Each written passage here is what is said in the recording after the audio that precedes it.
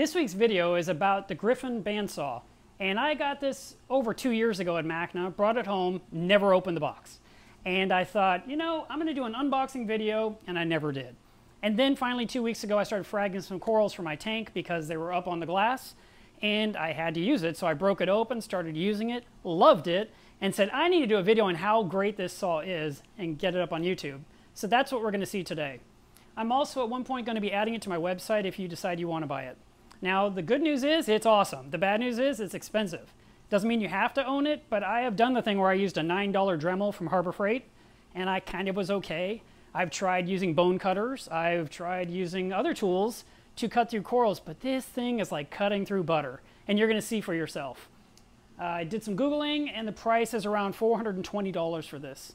So you would think I would have opened it way sooner, but I never frag corals. I keep them and grow them into giant colonies and instead, I had to make some space, and so the saw got taken out of the box.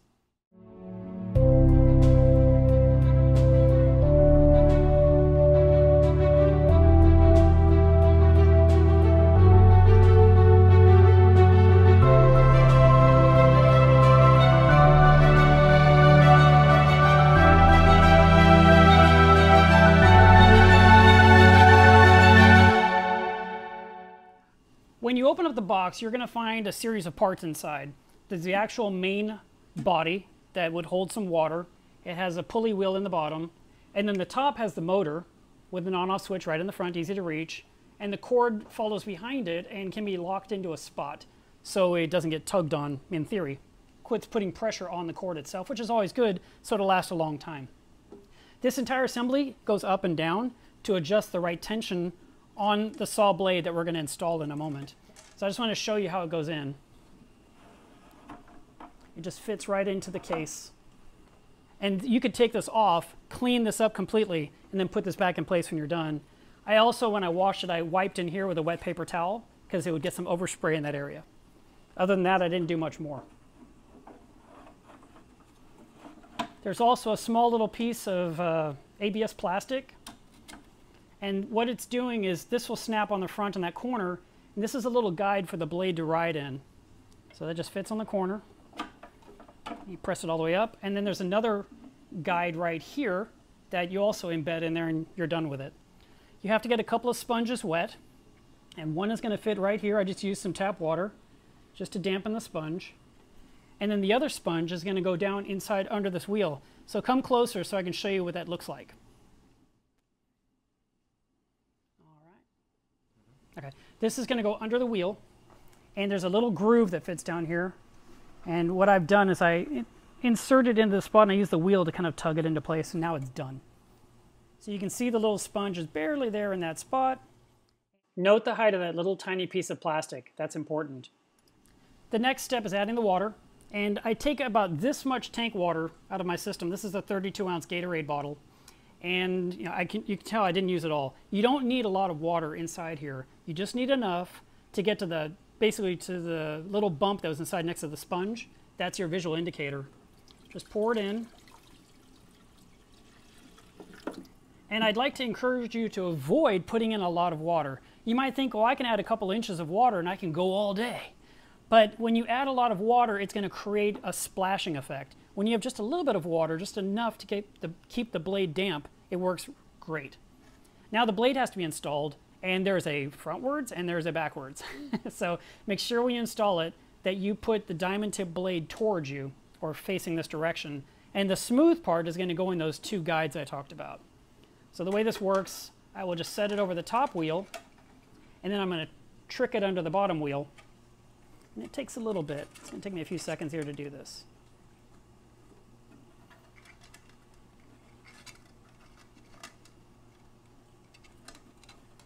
Okay, the bottom wheel is just right, so now we'll do the top wheel.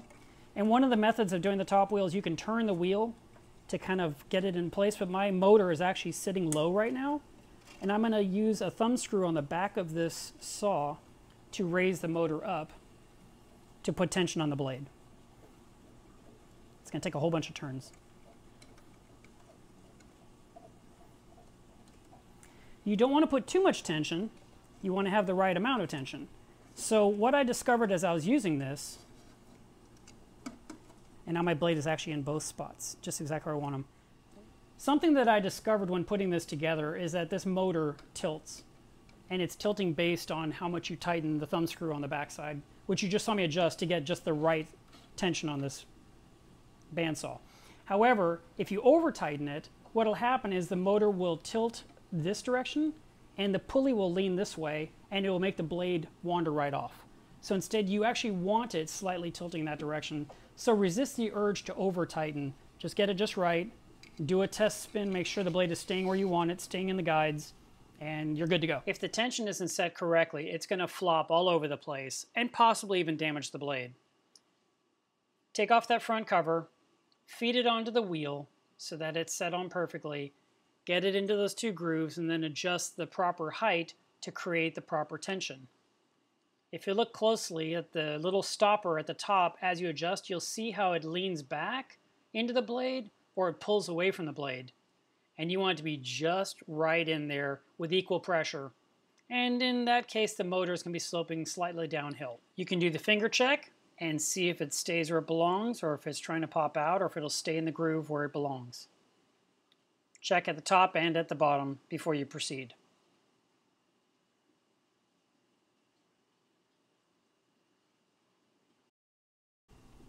The next part is to put the side cover on, which would of course keep you safe and also the little bit of splashing that's going through there will stay inside.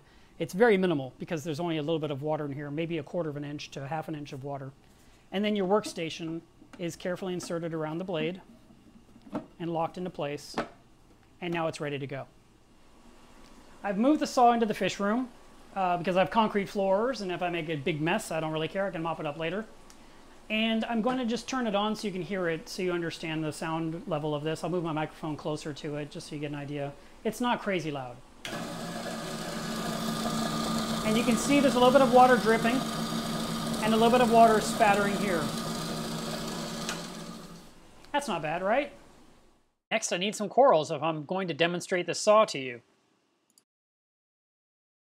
All right, so I've taken some corals out of the tank. You just saw that.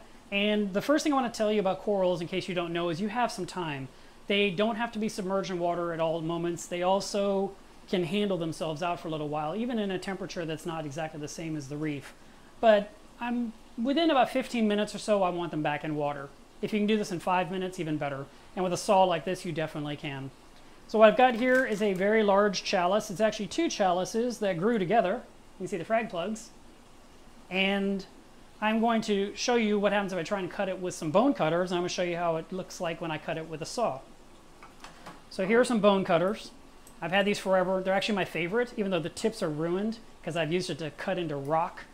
But I, uh, for example, if I wanted to take a small piece off, let's say I wanted a one inch piece here, if I put my pliers on there and cut, it more like pulverizes and now I have this piece of potato chip, which is still sellable, but it's not very pretty. And of course, if you leave it in your tank for a while, it'll heal. Now, it will slime a little from this effect. Wouldn't you? If someone just broke a piece off of you, you'd bleed. Same principle. Now, at this point, your frag can go into the tank. So we'll put it right here in a spot where no coral is. Excuse me, yellow tang. And that chalice could later be attached to a frag plug. But now we're going to use the saw, because that's the whole point of this video.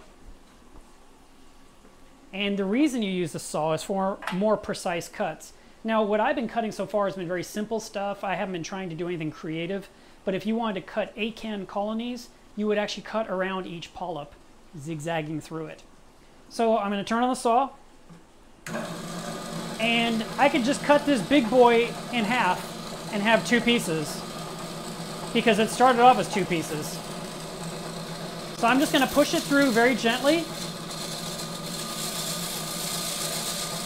and let the saw blade work its way through. I'm dropping all my tools.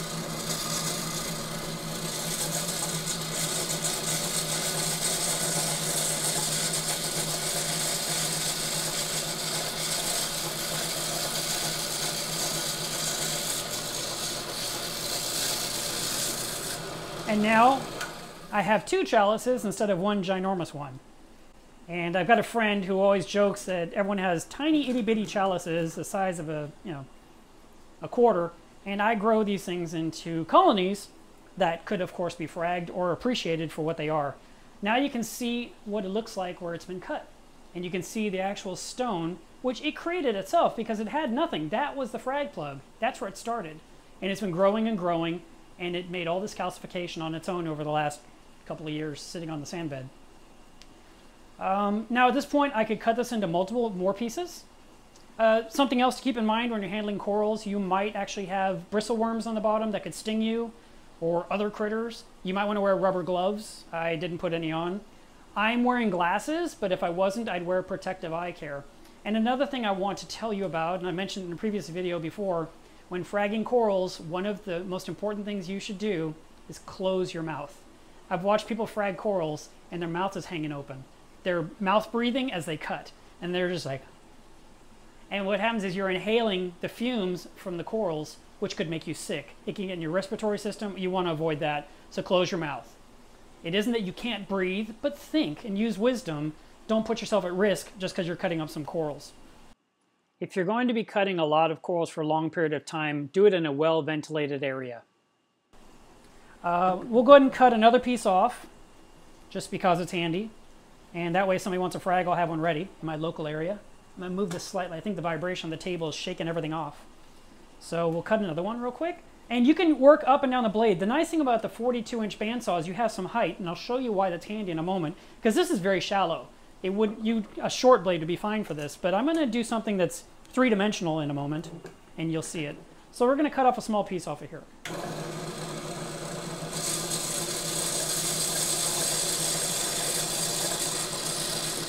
Remember I told you you could pivot it?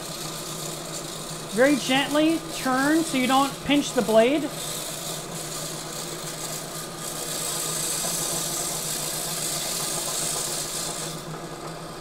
The one thing you don't want to do is back up and pull the blade out. It could tweak it, it could break the blade. I don't want to break my blade, it's too expensive.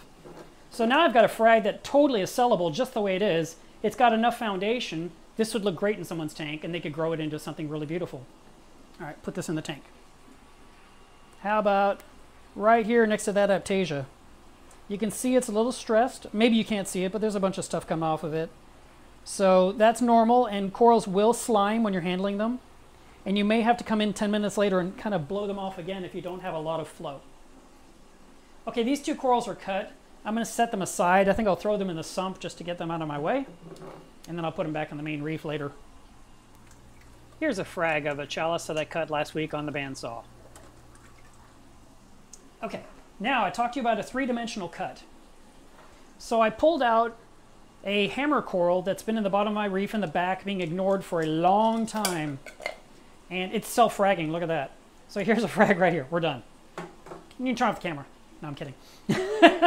so here we've got several things happening. We've got some dead colony. We have a devil's hand coral. We have another devil's hand coral. And then we have some living tissue. So instead of keeping all of this ugliness in the tank, it's much better to break this up. Now again, I can show you with the cutters what it's like to cut through this colony, through the uh, stony part of the LPS coral. And what'll happen is it'll usually crumble. It won't just cut cleanly, it'll just kind of shatter like that. So now we've gotten a sheared off piece instead of a nice clean cut. And at this point, you know, it may not matter to you, but it could have gone a different way. It could have shattered through and split all the way up the spine of this dead skeleton. Another thing you can do when you're working with corals, if you're around blue lighting, is you can put it near the light and kind of see where's the living tissue in case you get a little bit of snow blind, so to speak, and you cannot see which part is alive and which is dead. This is also a good time to notice if you have pests, and if there's a pest on here, like a Majano anemone, you would cut that away and get rid of it so it doesn't go back in the tank or go to the next person that's getting this coral. So I'm going to move this out of my way for a moment. And we'll, this guy here is actually three polyps that are alive. This is living, living, living. And then this down here is dead. So I can just cut this off very easily.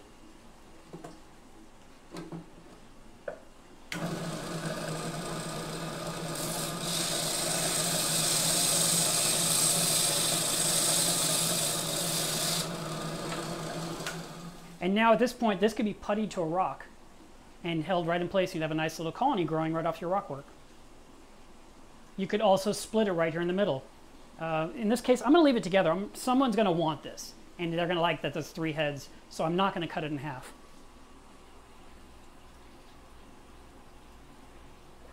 You can, because it's been cut, shove it down into your sand bed to kind of keep it stable. I have an urchin in this tank. He likes to move everything around. Now we've got this other colony that has a leather on the side, and I want the leather off of the rest of the coral. So I, this is all tissue here. This is all the leather. This is dead. really dead. It's coming off my hands. But the saw will make quick work of it and let me kind of isolate the actual coral I'm trying to keep. If you were to cut the leather, it's okay. Leathers can be fragged with a razor blade. If you needed a piece of this, you could snip off a piece, take a rubber band and connect it to a rock, and have another frag for someone.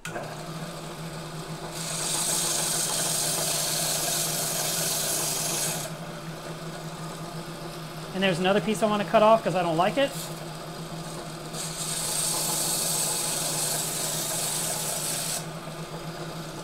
And there was either a living or dead snail. Not sure which. I see a starfish too. So I see a starfish I want to keep. I'm going to throw him in my frag tank and let him breed. Here's another one.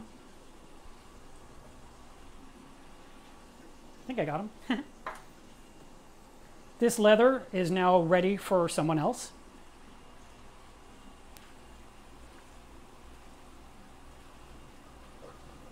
And you can always place them better in your tank. I'm just dropping it in here now because I'm busy filming a video.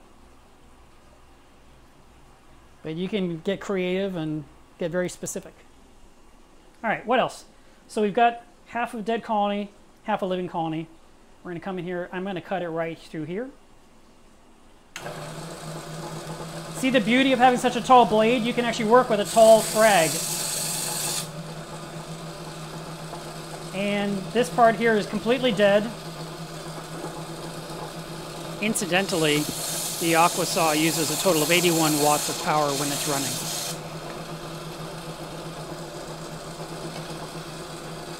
And all the rest of this is alive. Some more than others.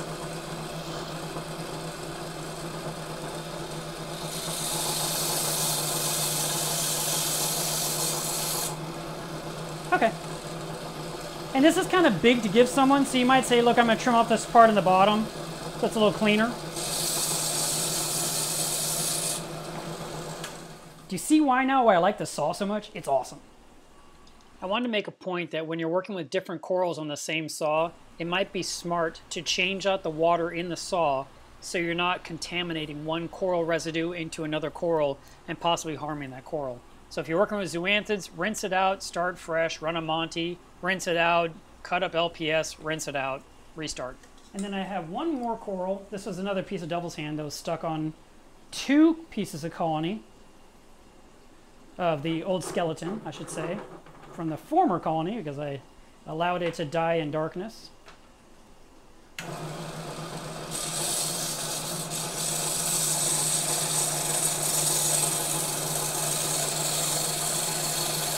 Your coral is on a rock and you have to cut through the rock itself, take your time and let the saw blade just very slowly cut through it. It'll make its way through if you don't press against it and snap that blade. And you can keep trimming if you want to get rid of every little bit of this. You could also just cut it. You could tear it. Tearing it might affect the coral, so I'm trying to avoid that and just leave the coral alone. Cleanup is really easy. All you have to do is rinse everything off and set it to dry. Just like anything else we clean with a tank, we just use water. You could soak things with vinegar if you wanted. You should have your tank only sponge, not use a sponge that has soap or anything on it, any kind of chemicals. So you'll pop off the workstation plate. Just rinse it off completely.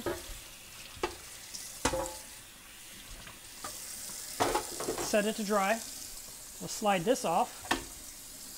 You can see it barely got anything, it's just moist. So it's not like it's a filthy item. Need to remove the blade. And to remove the blade, you're going to lower the motor by twisting the thumb screw. I need to show you that thumb screw. I'm going to turn this around for a second.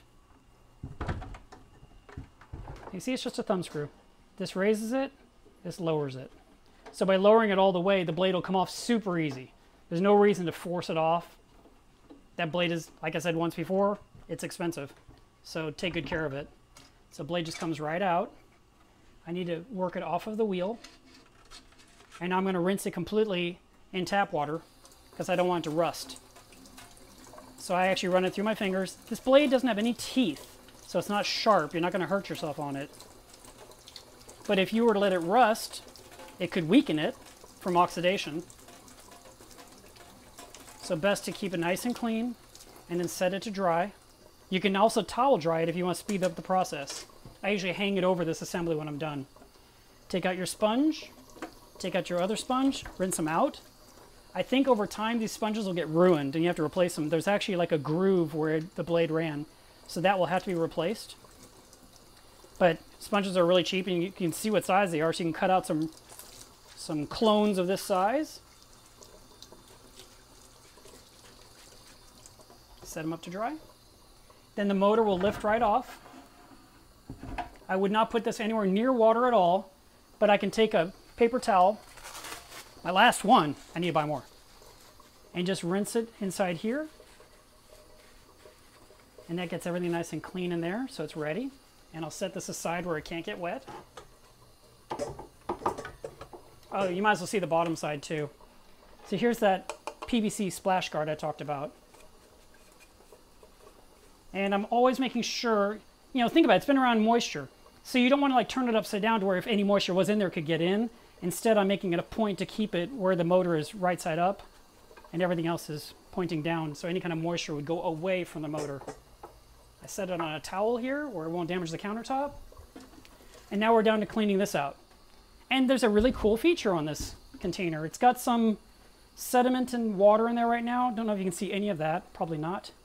But there's a hole right here, so I'm going to pour this out. This is how you drain it.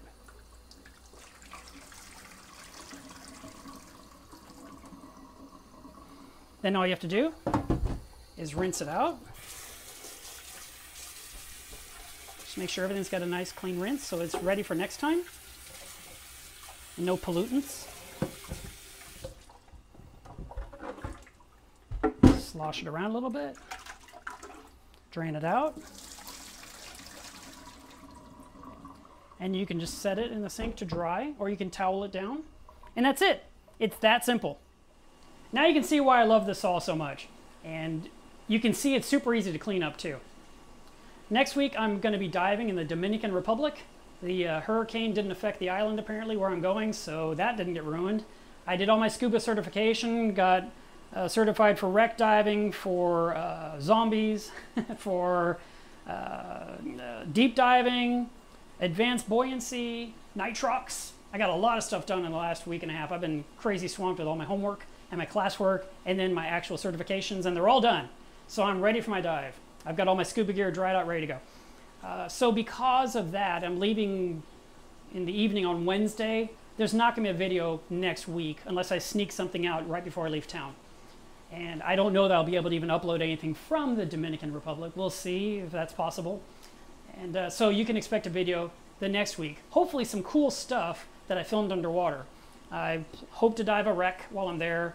I plan to do a night dive on Friday night, and that would be filming critters coming out of the rockwork, which should be awesome. Because usually you just see some fish and some corals doing this in the water, and you're just swimming. And I wanted to like park in one spot and see critters come out and film that. That's what I want to do. But I might be overly ambitious. It'll be my first night dive. Uh, and other than that, thanks for watching. Thanks for subscribing to the channel. We're almost at 20,000 subscribers and it's because you guys are liking this content. What I'd like to ask you this week is what would you like me to do in the next video? You can tell me now, and I'll see if I can incorporate it in the next one.